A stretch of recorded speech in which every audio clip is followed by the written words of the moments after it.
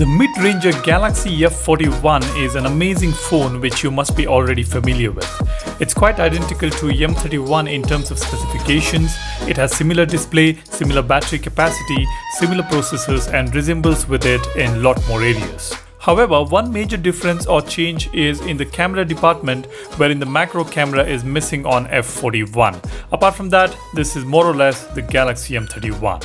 Alright, before we go ahead and take a look at this phone, let me request you to be a part of AppX community to stay updated with Samsung phones, Galaxy watches, Android applications and more tech related subjects. All you need to do is just smash that subscribe button which will be highly appreciated.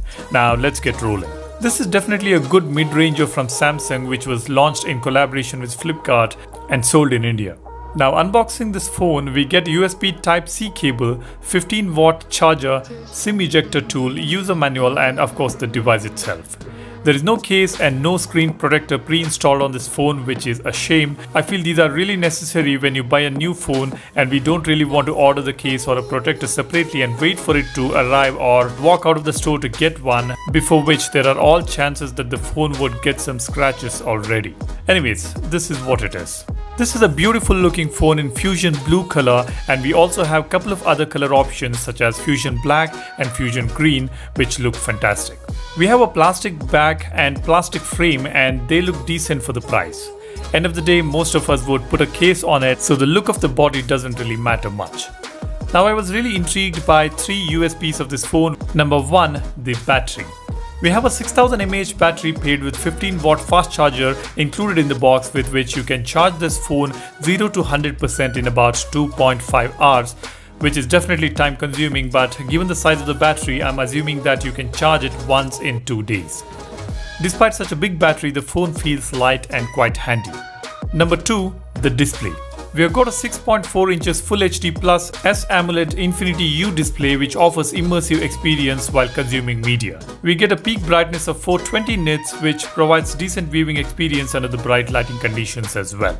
Now coming to the camera features, we've got a 64 megapixel main sensor which offers some decent quality images and videos. The second lens we have is a 5 megapixel live focus and the third one is a 8 megapixel ultra wide camera. The camera can record 4K up to 30 fps and 1080p and Full HD at 30 fps. And we do not have optical image stabilization on this phone, we only get gyro EIS. The selfie shooter is 32 megapixels and it can record videos up to 1080p at 30 fps. As you can see here, the camera module is modern and looks pretty cool. And it's also worth noting that the ultra wide camera has 123 degree field of view, which can offer pretty wide shots. We do get this single take feature as well, wherein with a single click you can get multiple outputs. It is definitely a cool feature for those photo enthusiasts out there.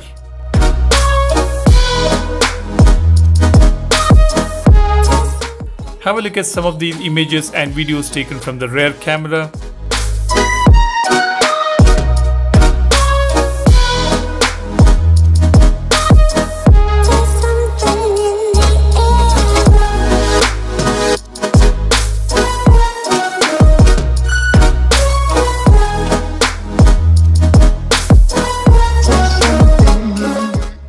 Here we have a couple of selfies taken from the 32 megapixel shooter which is on the front. As you can see here, even the indoor photos are looking really good. And this is a video clip taken indoor.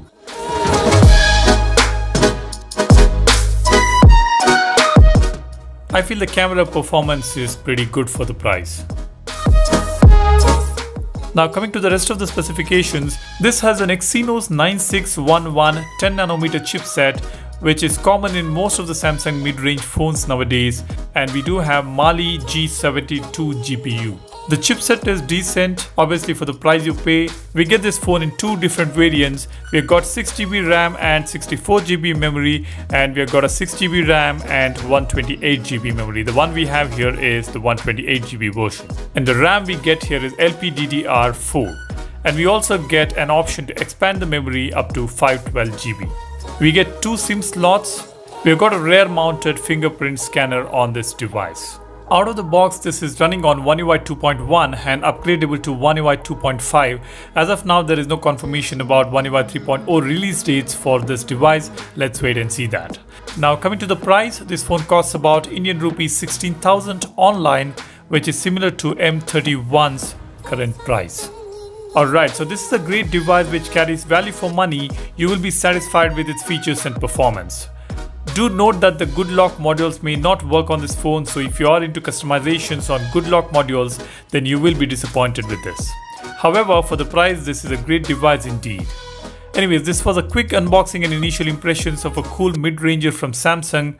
If you like this video, do hit that like button and make sure you subscribe to the channel as well. That's all I have here. Thanks a lot for watching. You guys take care and stay safe. I will see you in the next one. Cheers. Bye-bye.